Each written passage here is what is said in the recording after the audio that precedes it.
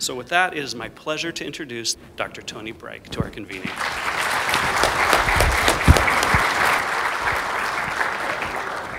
And contrary to what you may have inferred from the introductions, I do not walk on water. I drown just like everybody else does. So, uh, but I'm delighted to be here this morning to um, share with you some of these ideas. And, and actually, my talk this morning is pretty high level. It's about the basic principles and how these things connect together. But a few points along the way, I'll drill all the way down to some very specific work to give you a flavor of what this looks like as educators try to work inside these ideas to solve what they think are really pressing educational problems in their particular learning context. Uh, I'd like to begin with a story. Uh, it's a story that takes its root in a town just up the road a little way from here called New York City. And uh, I'd like to introduce you to Alexa.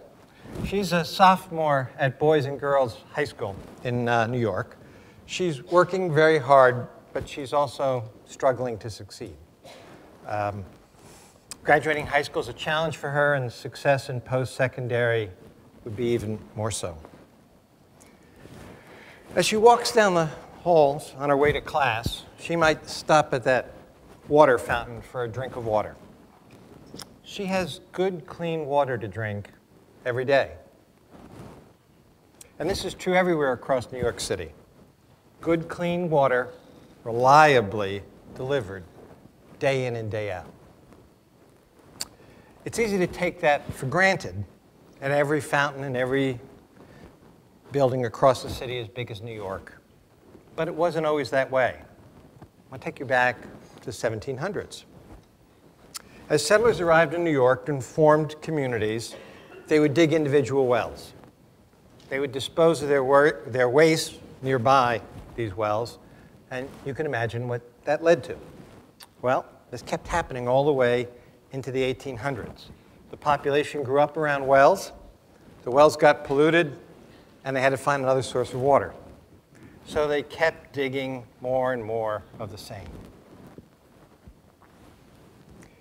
In fact, people were getting sick from the water. It got so bad that by the summer of 1832, one in 50 people in the city of New York died from cholera. New York City's water supply was a disconnected set of wells. Residents just couldn't count on the delivery of good water. What used to work in an earlier time just didn't work anymore. They needed a new idea, and more importantly, they would need to work very differently together to achieve better outcomes. They would have to solve this problem together as a community.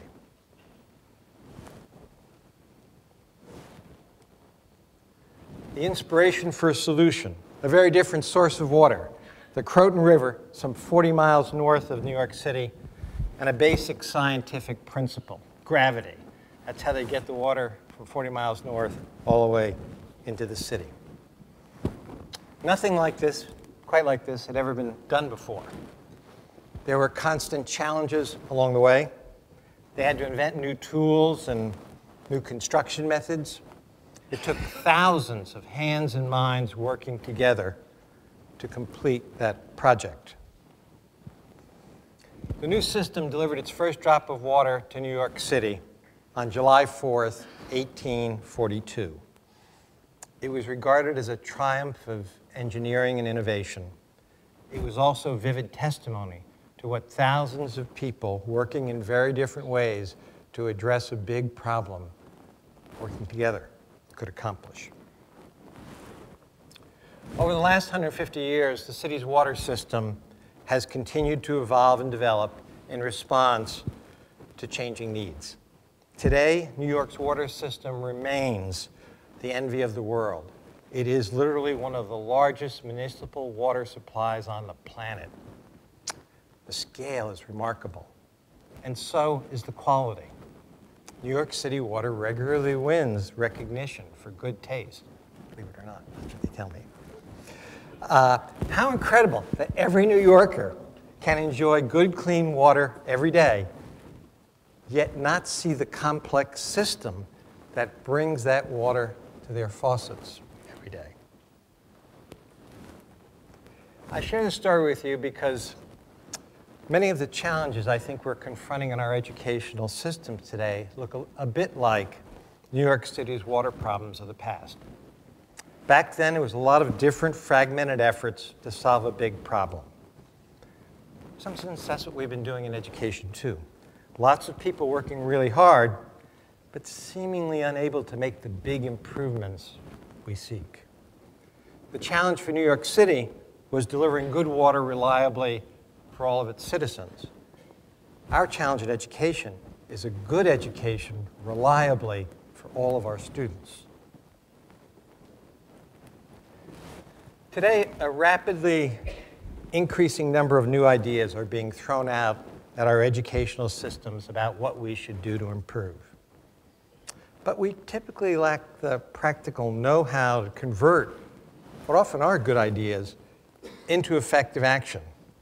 And we typically lack the time and the, the human capabilities and the institutional infrastructures to make any of these ideas actually work productively at scale. What do we do? We tend to overpromise, oh, this thing is really going to do it for us. This is, this is, this is going to solve all of our problems. We get frustrated about how difficult it is to move from this idea to actually get it to work on the ground, effectively, effective execution. We then abandon the idea and we move on to the next new idea. There's a basic tenet in improvement science. If we keep doing what we've always done, we will continue to get what we've always gotten. All of this, this way of doing reform over and over again, can feel absolutely overwhelming to educators. It's no wonder that so many of us are experiencing initiative fatigue because we go through these cycles over and over and over again. The truth is that our schools and colleges are gradually getting better. You look at data.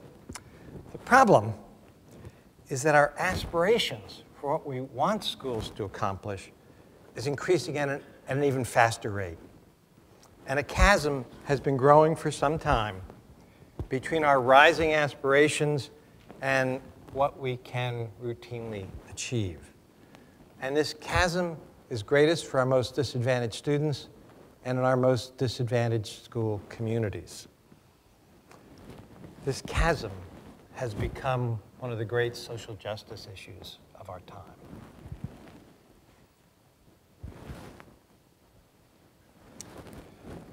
Education, we have a learning problem. We have a learning problem. We have a lot of people working very hard, students, teachers, faculty, faculty whole faculties, schools, colleges, district leaders. Yet we can't seem to connect really hard work, really good intentions, and often really good ideas with widespread improvement. By analogy, we may dig a good well here or there, but it often doesn't last, and it surely doesn't scale. We need a better way to get better at improving. So this perspective led us led us to think about, well, how else might we do this better? And so we scoured both nationally and internationally, looking for other sectors and organizations that had something in common with this big complex enterprise called public education in the United States, but who seemed further along. There was something we thought we could learn from them. So let's go out and try to study them. Uh, so we asked the question, well, how does quality improvement actually work on the job floor in industry? Uh, how do design firms develop new products and services that actually make our lives better and easier? Uh, how do very large, complex healthcare institutions, how are they going about the task of making their places safer and more patient-centered? And more recently, how are structured scientific networks speeding progress on problems that previously were thought too complex to ever be able to address. Culling this together, plus about 20 years of working in and around issues of school improvement in Chicago, doing everything from working directly with principals, teachers on the ground in some of the most disadvantaged Chicago public schools to two-year leave of absence working in the superintendent's office and a lot of things in between there. Um, culling all this together, we uh, call it an improvement paradigm.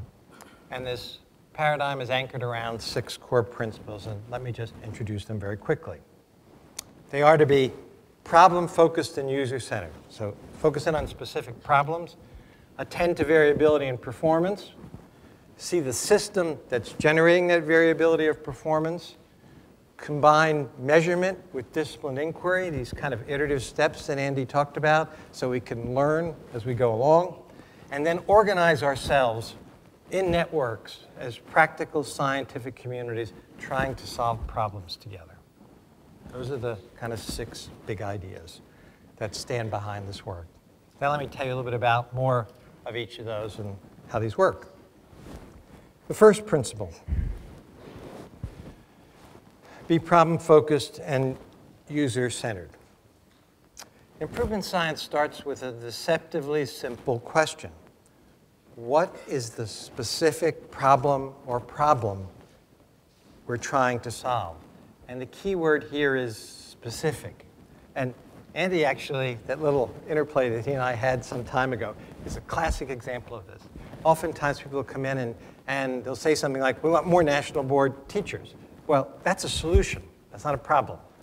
Uh, and then if you ask, well, what's the problem? Well, we want to transform education in America. Well, yeah, yes, that is an, that's an aspiration, but it's not a specific problem we can work on. So how or what is the specific problem, and therefore, how might developing more national board teachers potentially be a solution to this specific problem we're trying to engage? So in our own work, uh, our biggest improvement effort has focused at the community college level.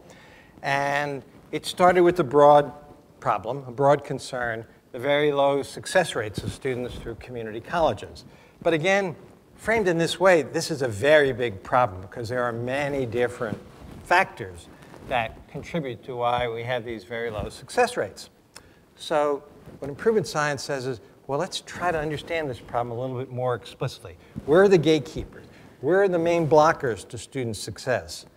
We need to understand what's going on here through the student experience. So they're called user-centered, uh, empathy-centered exercises. How do students actually experience what's going on here?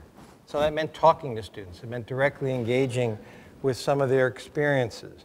It meant bringing together um, teachers and educational leaders from these institutions because everybody sees it's a very big problem, so everybody's going to see it from a slightly different angle. And so part of the task of solving the problem is what are the really key things going on here that we really have to direct attention to? In going through this process, a key observation emerged. The single biggest impediment to student success in community colleges is the high failure rates in developmental math courses in community colleges. Uh, across the country, upwards of 60% of students who go to community college are assigned to developmental math courses, and upwards of 80% of them never get out. Uh, if you don't complete a college math requirement while you're community college, you can't transfer to a four-year institution. You can't qualify for many technical uh, certification programs. Your opportunity to a better future is blocked right here. That's a problem that we thought gathering together a group of faculty and institutions we could actually do something about. Where typically only 15% of these students who go down the traditional pathway acquire college math credits in two years, this networked improvement community now is consistently achieving at least 50% of the students achieving college math credit in one year. So the community has tripled the success rate in half the time. And these marked improvements are occurring in every participating college, which is about over 50 institutions now doing this, and for every distinct subgroup of students. Brings us to the second principle. If we want quality outcomes to occur reliably for students in the many very different contexts in which they're educated, then variability in performance is the problem to solve. Education is complex work.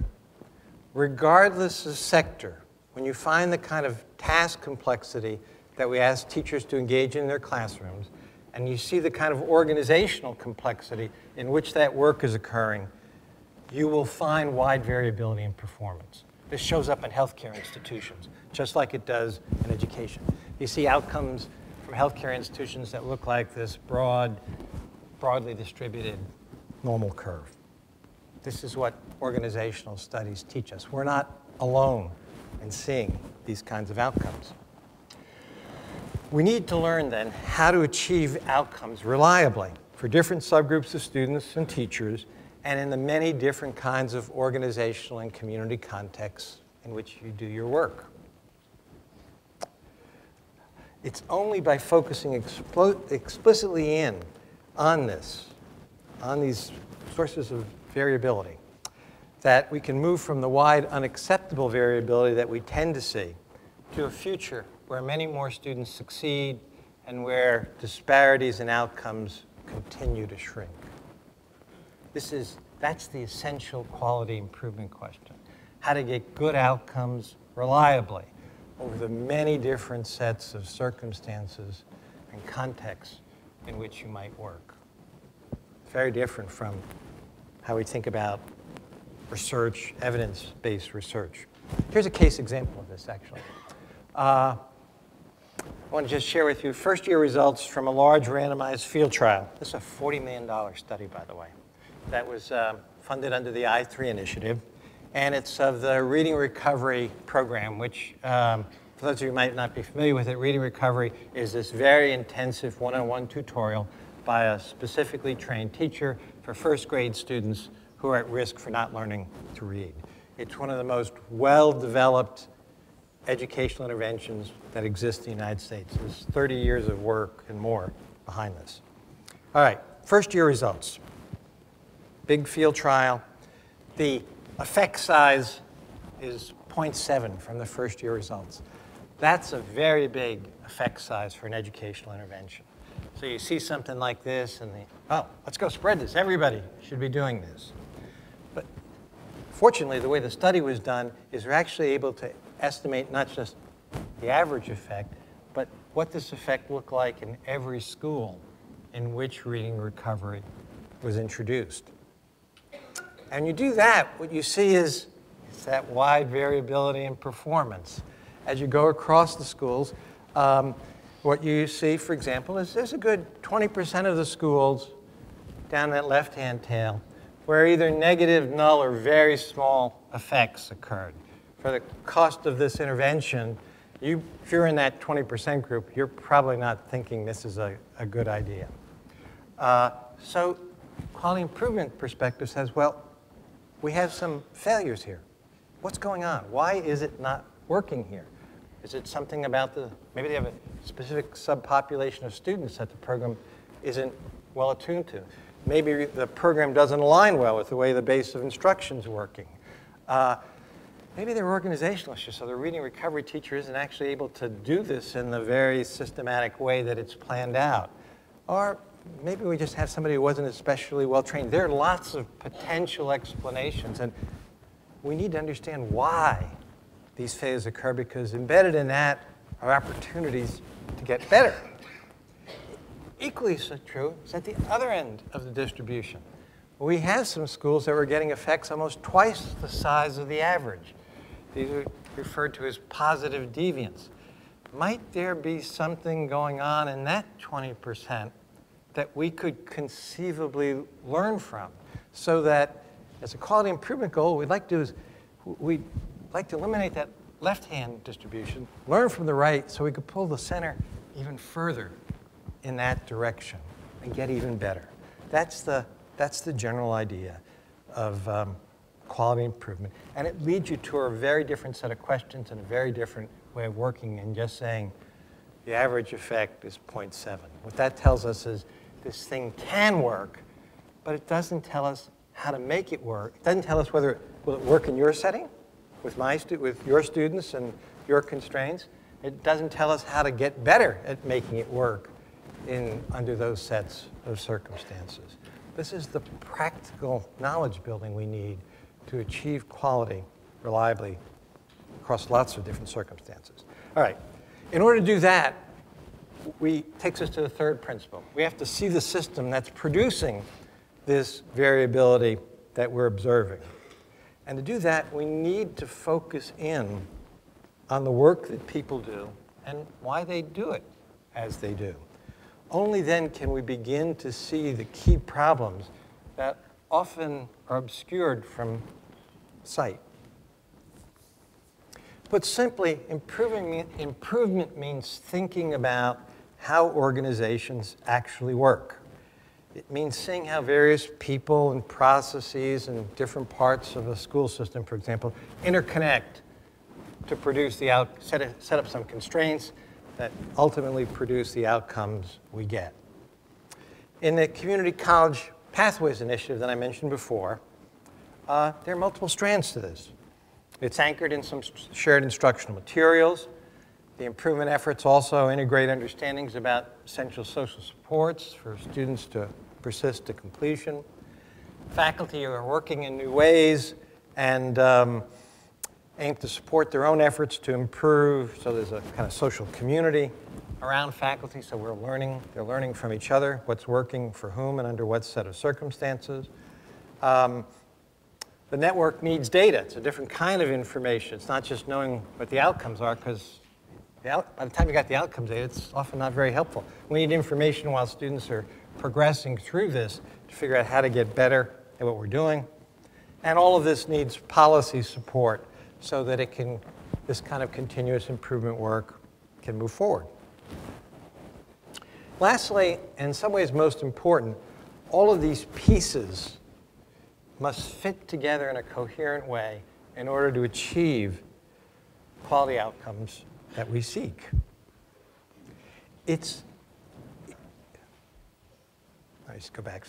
It's, it's, as we think about virtually any kind of educational problem that we want to try to make some headway on, typically it's no single process that's the cause, or for that matter, there's no one person to blame if you're of that orientation.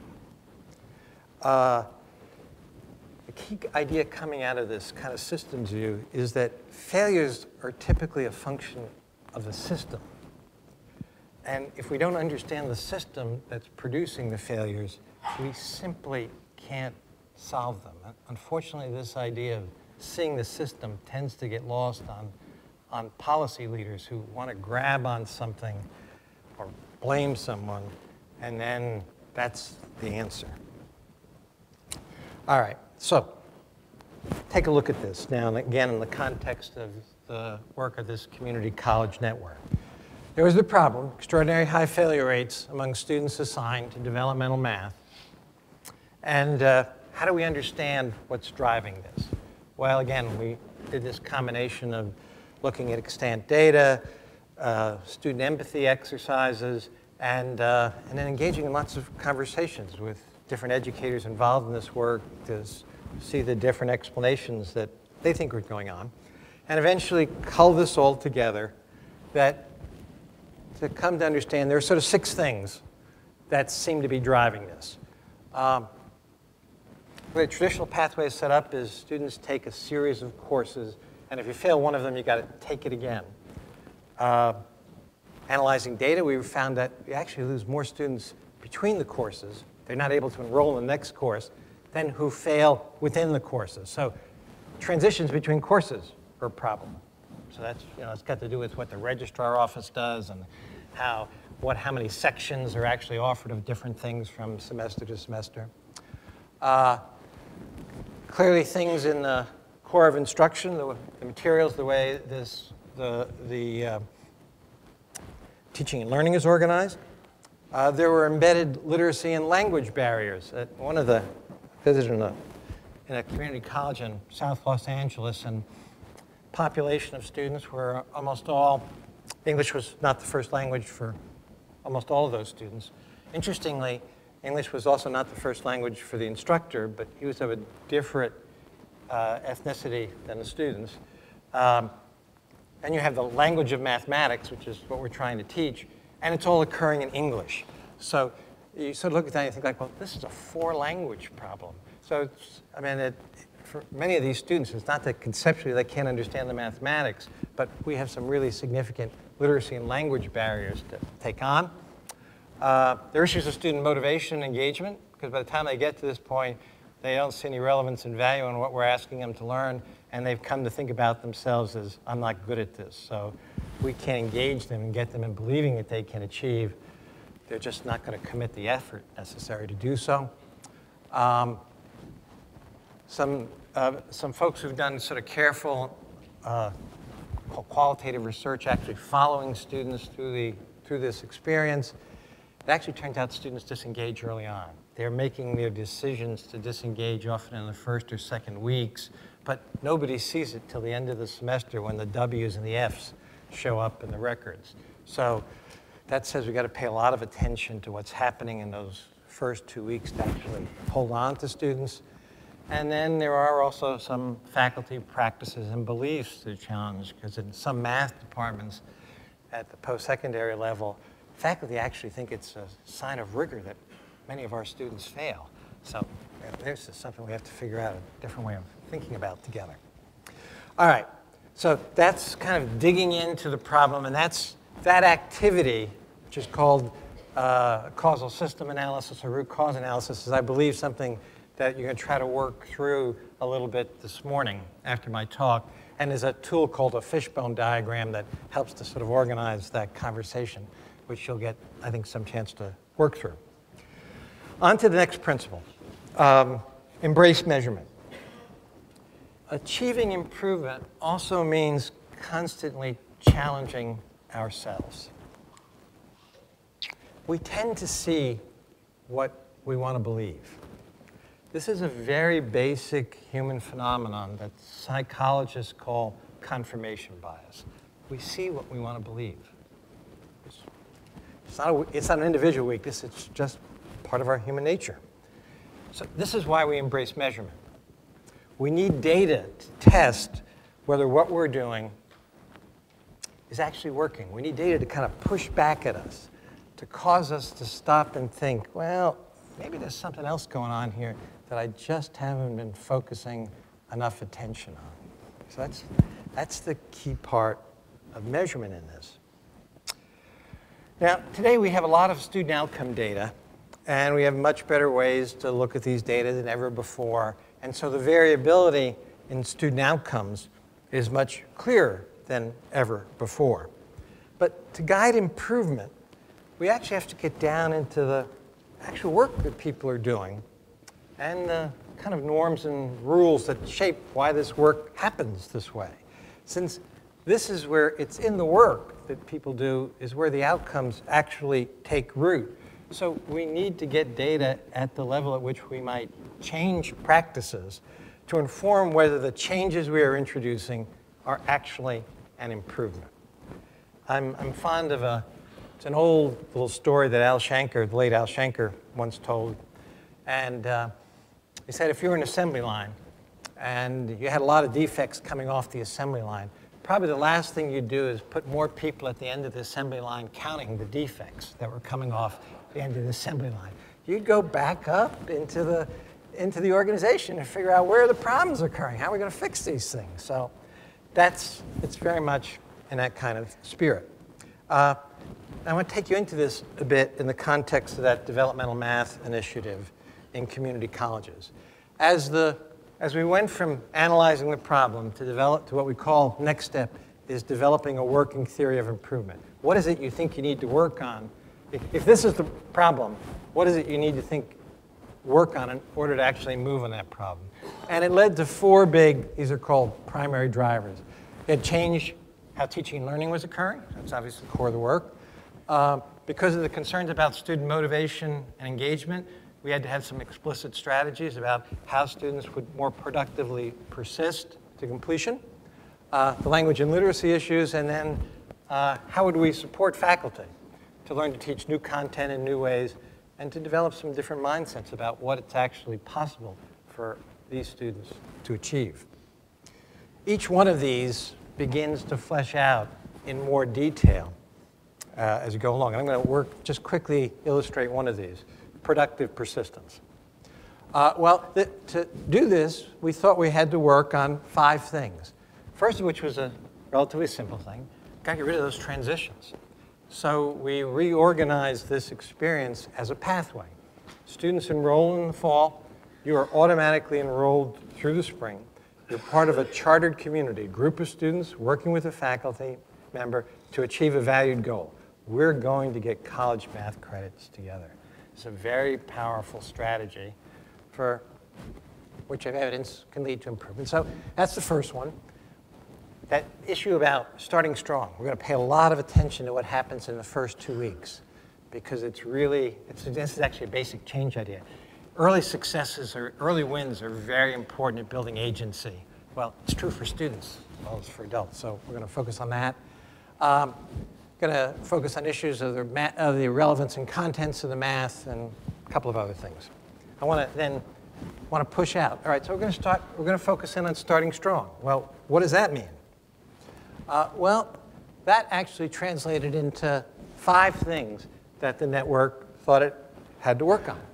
There are some direct interventions, particularly around this idea of shifting students from a fixed mindset to a growth mindset, that, that actually has a very strong evidence base that works. So I'm going to bring those in day one of class.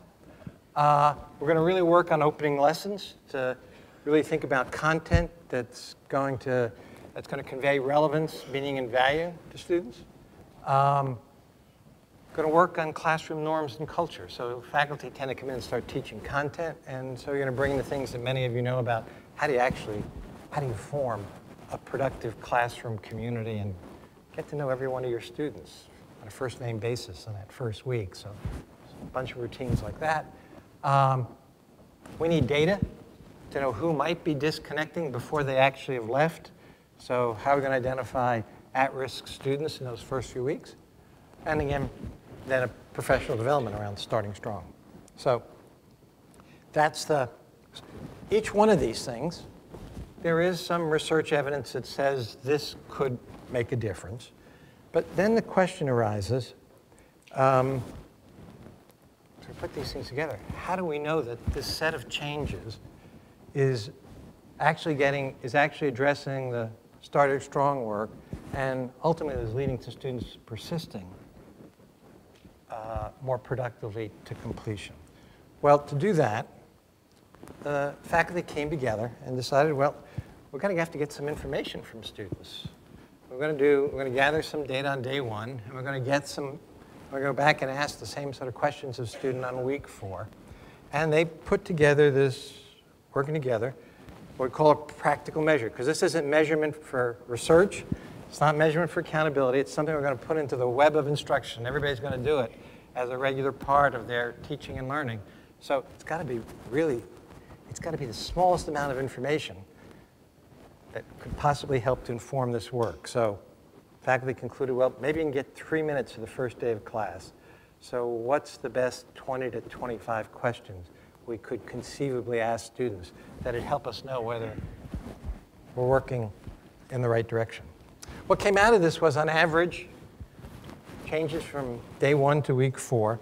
Um, much stronger reports about students' growth mindset, uh, reduced fears about not belonging in classroom, increased reports about seeing relevance value in the mathematics that they're learning. All of this was on average, which is great news for the team that was working on all this.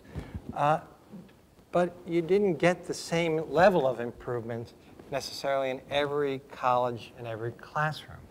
So then there were some places where this really seemed to be working well, which then, then created a second set of questions. Well, what seems to be going on there? What can we learn from this subgroup within our community that could actually help us get better at, um, at starting strong? So the point is that the measurement then fueled a second iteration of improvement work because it became clear that some of us here were actually starting stronger than others of us. So how do we learn together?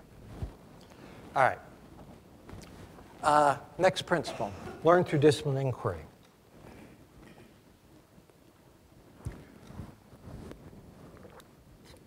To make the right changes requires being very systematic about how we go about doing things. And this idea of being very systematic is important. There's a classic model in decision making. It's called the garbage can model of decision making. And it's, it's very evocative. You know, it's kind of like a lot of ideas go in and they kind of bounce around, and somehow through some process that's sometimes very hard to understand, something comes out, and that's what we're doing. Well, this is, this is, this is being, it's not like that. It's being very systematic about how you go about doing the work of improvement. In this being very systematic, as Andy mentioned early on, learning from failures is essential to ultimately achieving the quality outcomes we seek. Recognizing that learning from failures is key has two big implications. First, it tends to encourage us to start small, aiming to learn quickly while we're minimizing costs. At this point, we don't want to affect a lot of people's lives or spend a lot of money or take a long time because, you know, that great idea we have, it might not actually work. So we want to figure out really quickly whether we're on the right trajectory or not. Then second, it also means being very deliberate about how we expand out the change efforts. Um, as we think we've got something that's working in some places, we need to accelerate learning about how to get it to work in many other places. And so we're very deliberate here too as you take something that you've got some evidence that seems to be working out, you literally want to take it to more diverse contexts because you literally want to break it. You want to find the places that it doesn't work because you need to make manifest that variability in performance because every time it doesn't work somewhere, there's an opportunity to learn how to make this reform or this initiative, this innovation better. So that's part of the this is all about learning to improve. It's not about finding something and implementing it everywhere and then you're done. It recognizes that to get this kind of quality improvement work to occur, this is all about a learning journey. So how do we structure the journey in ways that increase the likelihood we will actually learn as we proceed forward? All right, here's an example of this. Uh, one of the other networks, small networks that we worked on for two years, and this was actually done in partnership with the American Federation of Teachers. It was called the Building Teaching Effectiveness Network. And the um, context for this, the problem for this was that the large number of the, the weak and incoherent systems that exist for bringing new teachers into teaching typically fail to support them well, to learn to practice well. They often feel overwhelmed, unable to achieve their aspirations for students. Their students often don't learn as well as in other classrooms. And then they're back out the door in a few years, and we bring new people. So it operates like a revolving door. And in, in trying to focus in on what are the array of problems that exist here, the team, this work was done principally in Austin, Texas, but there were also folks working on this in Baltimore and New Visions Public Schools in New York, folks focused in on what they thought, and which there's some evidence to believe is really the high leverage problem, that, that this is really a school-based issue, that it really depends on the quality of the professional community that exists in the school that supports new teachers, depends on the kind of feedback that new teachers are regularly getting to improve, and it depends on whether the new teacher develops a supportive relationship with their principal, because this is basic organizational sociology. You're going to persist in this work. Do you feel like you're being supported by your supervisor? So all of that then focus attention. Let's look at this feedback process that's occurring between principals and new teachers and how it interconnects to the support teachers, these new teachers are receiving. Um, so it started with one school principal uh, working with new teachers in his school. And there was a team engaged in this work with him. And it, it started with developing a basic protocol. Well, in that feedback conversation, what's a reasonable, you know, what are the things that should happen in a feedback conversation? Because as the system went to look at it, there, there was no system. I mean, there was no training for this. Some people didn't even do it. And there really wasn't any understanding about what might be a good way to organize this conversation. So the first step is, is there a protocol or scaffold for this conversation that actually might work? So started with one principal and a few, few teachers, and um, so productive. So then it went out to five schools. So now it's going from one person out to five. And what happened when it um, got out to the five schools is that some of the task complexity and what that principal and was going on in those principal teacher conversations became more manifest. Because part of the protocol is identifying specific targets for improvement and connecting supports to it. And some of these, the other principals had some difficulty right there, that part of the protocol. So how are we going to, so that involved building some professional development supports around principals on that critical aspect of the principal-teacher feedback conversation. So the task complexity started to manifest itself right there. And then it went out to a whole vertical team, elementary, high schools, middle school, high school. And as it moved out there, well, then you started to see some of the organizational complexity because some of these schools now got very big. There are 40 new teachers, and the principal couldn't do it. Uh, principal couldn't do all these conversations. You had to have a team of people doing it. And as soon as you bring a team of people into it, you get issues of coordination and communication around the feedback conversations because teachers started telling us, well, I'm getting different, I'm different, getting different advice from different people. It's, sometimes it's too much advice, it's unmanageable, it's uncoordinated. So you get a new set of problems that now emerge at this level that have to work through on improvement. And then finally, as it starts to go, as it started to go district-wide, then you start to engage a whole set of district policies around this. Well, how do we how are we going to develop professional development more generally for new principals and people coming into this work? Uh, if we really think this is important work, it ought to become part of the principal evaluation system. That is, we ought to be signaling to principals that the development of their new teachers really matters to us. So what is that going to look like? So it opens up a new set of areas in which this kind of improvement activity needs to occur. All right, sixth principle, and as I kind of work my way to conclusion. Organizes networks. The educational systems that we've built and the problems embedded within them are now so complex that few can solve them alone. We need coordinated collective action involving a range of experts, teachers, teacher leaders, uh, administrators, researchers, depending on the problem, maybe technologists and others. This means we need to be, break down the silos in which we tend to live and engage with one another in this improvement journey.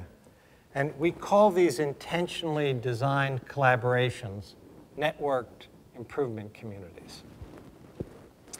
Each NIC, for short, is organized again around a specific problem. That's why we're all coming together, because there's some specific problem we're going to work on. Having gone through the problem analysis, we're going to get to some shared working theory of improvement. These are the things we think we need to work on in order to solve this problem. Those are the purple boxes I showed you before. Um, we need to have some common measures, like the kind of, we're going to have to invent some things sometimes, like these productive persistence survey measures that Community College NIC developed. And we're going to need some common tools to inquire together so that we can learn uh, whether the changes we're introducing are actually moving us in the right direction. And each network improvement community, one other feature of it, it's deliberately designed to accumulate this practical knowledge and make it quickly accessible to others for further testing. This is actually the workings of a scientific community, but one dedicated to practical problem solving.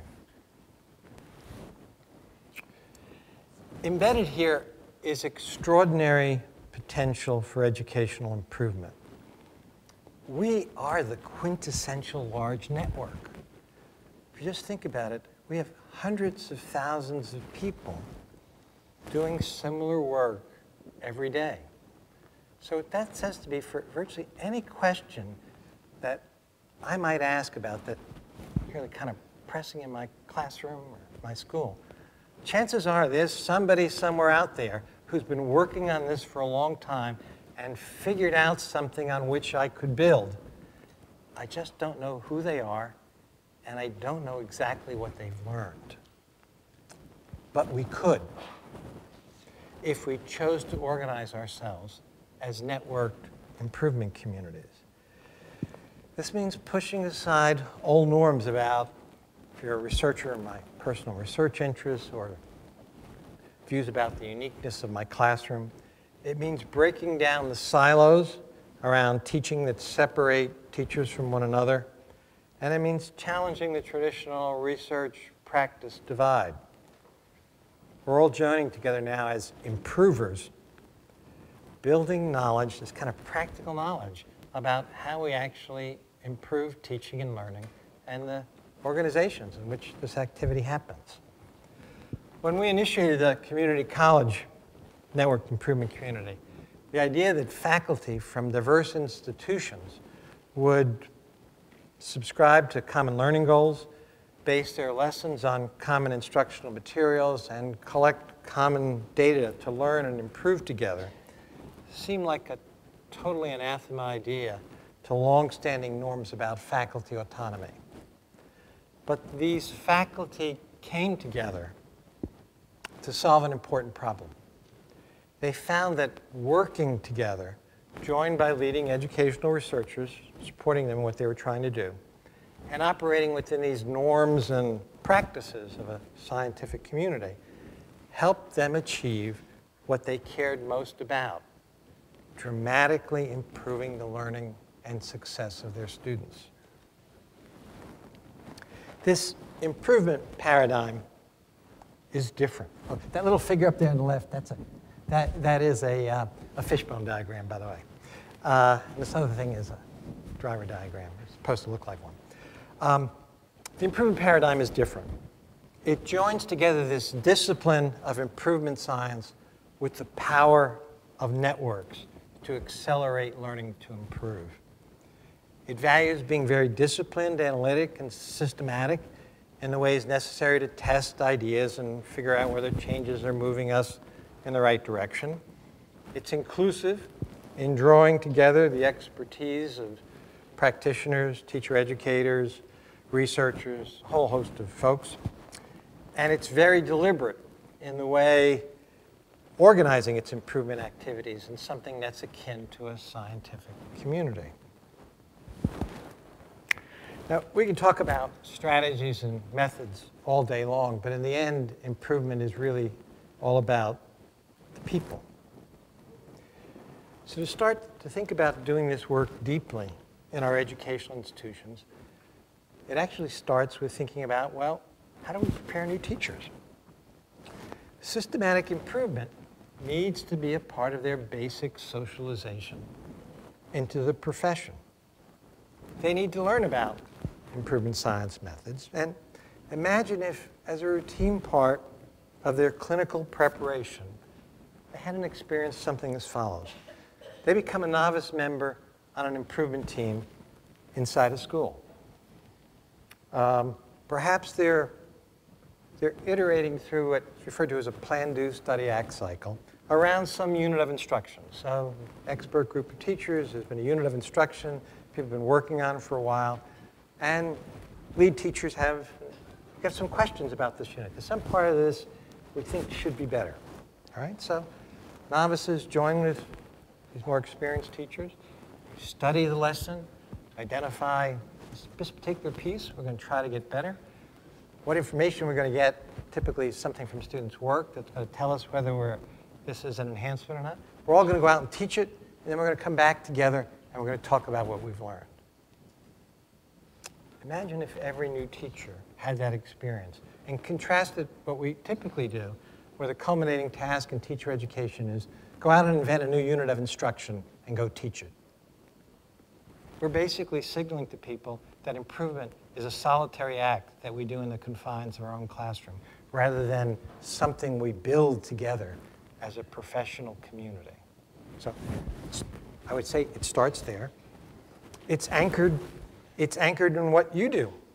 This work needs the active, full engagement of teacher leaders.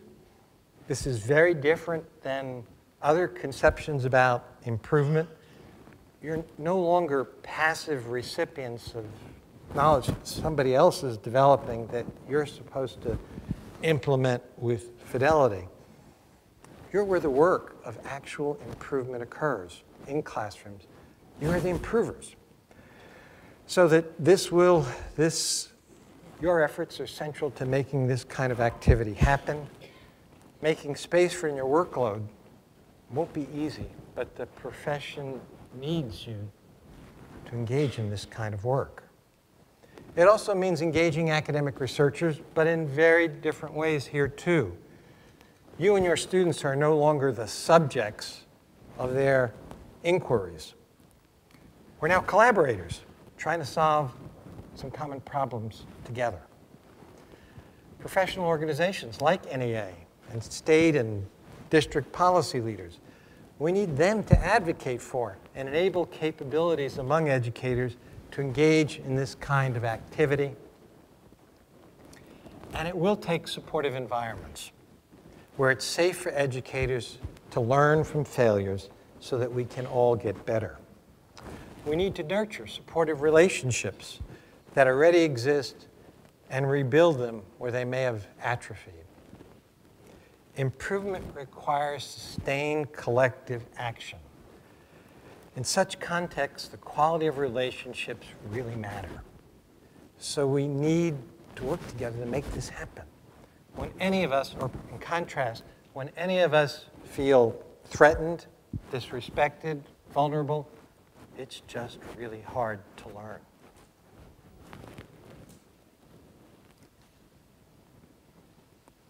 In 2020, the third New York City tunnel, water tunnel, will open.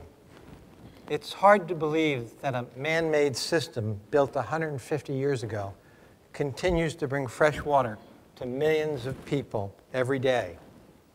But it does. We believe in the same boundless possibilities for our educational systems. I truly believe that we can do better by Alexa and by so many other students just like her.